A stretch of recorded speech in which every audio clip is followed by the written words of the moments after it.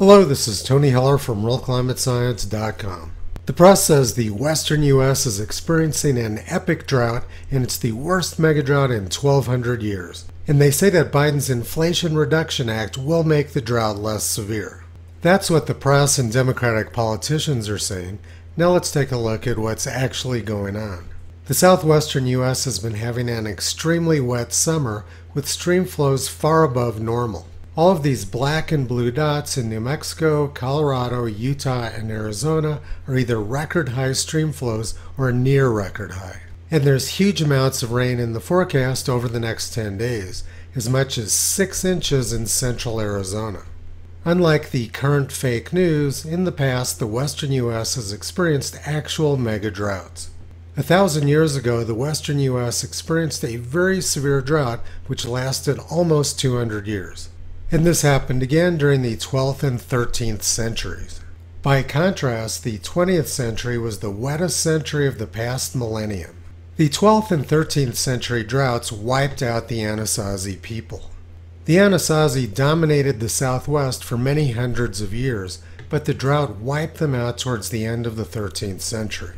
This graph shows wet periods and drought in New Mexico over the last 2,500 years.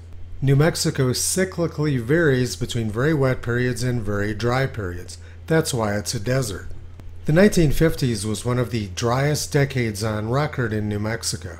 That drought ended right before I was born in New Mexico. This was followed by the 1980s, which may have been the wettest decade. After the drought of the 1950s, the United States government decided they needed to build a huge reservoir to store water. In their infinite wisdom, the United States government decided to flood the most beautiful canyon on the Colorado River. This happened 60 years ago, but fortunately, photographer Eliot Porter captured wonderful images of the canyon before it was flooded. This is what Glen Canyon looked like before Glen Canyon Dam was built in order to fill it up and form Lake Powell. The destruction of Glen Canyon by the U.S. government 60 years ago was one of the greatest environmental crimes of all time. 60 years ago, the environmental movement was united in their opposition against dams and hydroelectric power. One of my favorite authors, Edward Abbey, made a career venting his anger about the destruction of Glen Canyon. For the past 60 years, there's been a great hope in the environmental movement that Glen Canyon will eventually be restored. But nature is taking care of itself. Lake Powell is drying up. Huge amounts of salts have been deposited at the bottom of the lake, which are now visible where the lake is drying. This is a recent photograph with this man holding a picture of the same place in the 1950s. It's been my dream for the past 60 years to see Lake Powell dry up, and that seems to be happening now. As I mentioned earlier, Lake Powell was built right at the end of the 1950s drought and shortly before the very wet decade of the 1980s. I'm going to change topics for a few minutes, and if you bear with me, you'll understand what the point is. During the very wet decade of the 1980s, I was teaching science at a school along Oak Creek in central Arizona. The school doesn't exist anymore, but I went back there on Christmas Day four years ago and took pictures with Toto and Rambo. When I was teaching there in the 1980s, I had a different dog, Dingo. Dingo was an amazing dog and did everything with me, including teaching school and coaching the soccer team. This is one of my favorite pictures of Dingo. The Cimino twins were very famous because they were doublemint gum twins.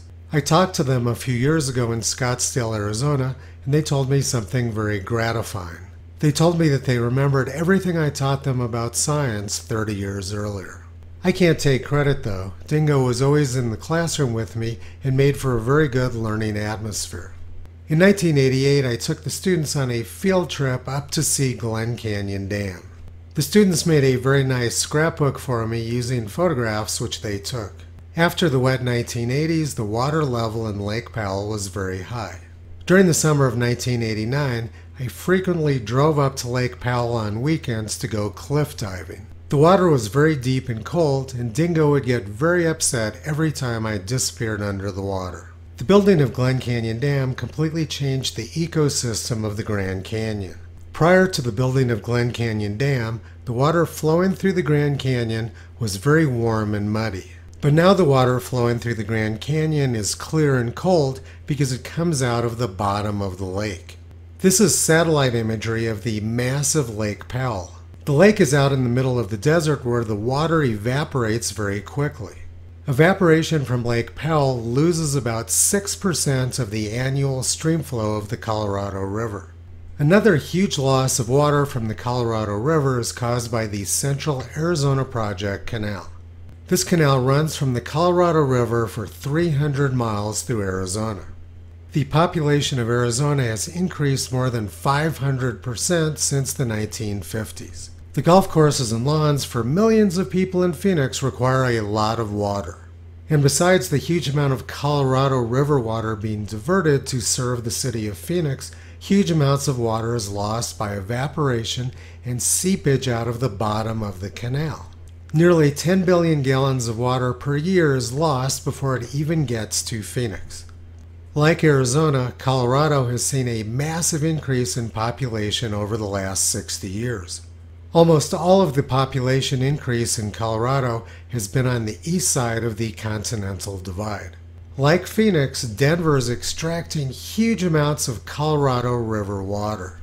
The Colorado River water being used by Denver in the Front Range is transported in tunnels like these ones through the mountains.